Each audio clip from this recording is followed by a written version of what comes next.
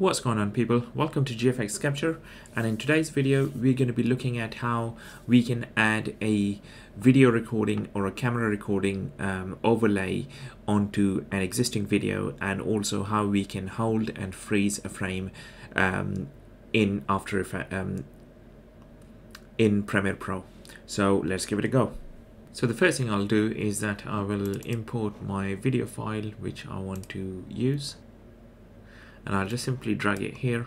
Um, it should be 1920 by 1080 so so here's a man jumping up and I want to actually add a camera overlay, camera recording uh, overlay onto it. Um, now you can download it from different sources.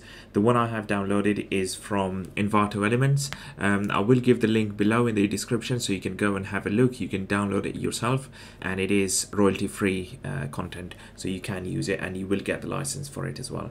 And the one I'm using is actually this one which is called Digital Camera video recording screen.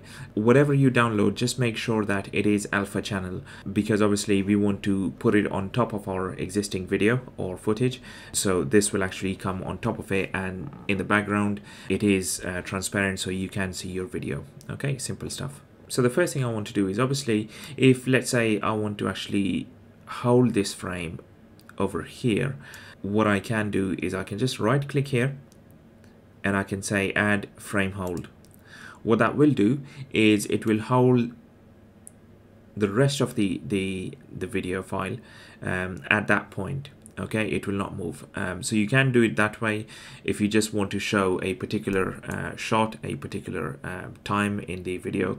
You can either do that or if you just want to hold it for like maybe one or two seconds um, what you will do I'll just undo that.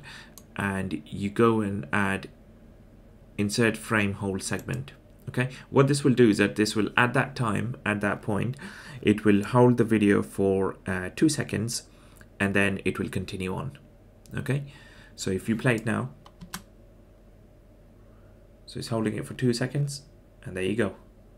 Now if now if you want to increase or decrease the, the, the time. By default, it is two seconds in Premiere Pro. You can increase it or decrease it um, by going to, uh, for example, the end of the the end of this uh, hold frame. Uh, press Control, and when it turns yellow, you can actually increase increase it, push it to the right, or decrease it if you just want maybe half a second or one second, whatever it may be. The other thing, obviously, now uh, later on I will um, import the, the, the video overlay as well, the, the camera recording overlay. So what I'll do is I'm gonna go and get a camera shutter sound over here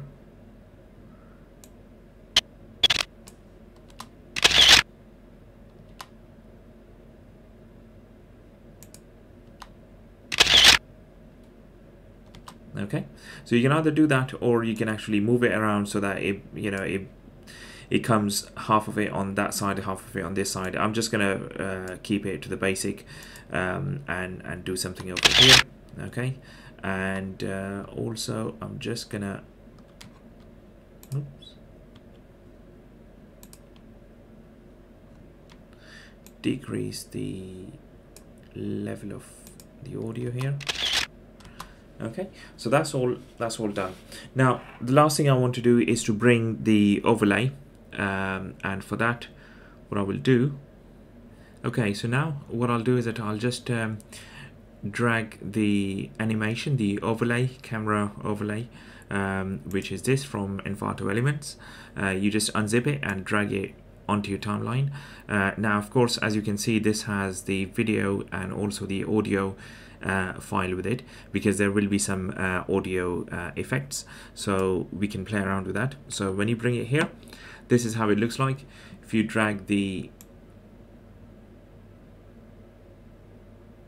the pointer here so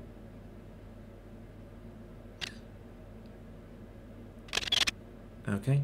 So now obviously we have added or I have added our um, audio effect here but in the overlay the audio effect actually starts from here. So what we can do is we can just extend or adjust our video file. Okay. To make it look like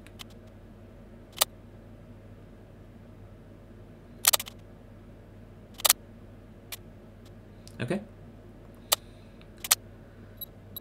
So what will happen is that we can even delete that actually and we bring this to audio 1 and when you play it now that's how it's going to look like.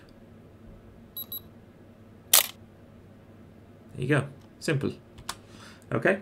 So this is how you can do this. Uh, now of course um, you can you can make your adjustments here. You can uh, change the color change the, the brightness etc etc um, either bring the adjustment layer or something like that. Uh, you can do that. Let's just do that anyway just to just to make sure that we know what we are doing. And I'm gonna extend this. And on here I'm gonna go to color.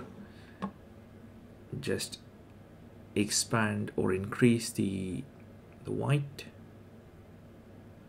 Okay.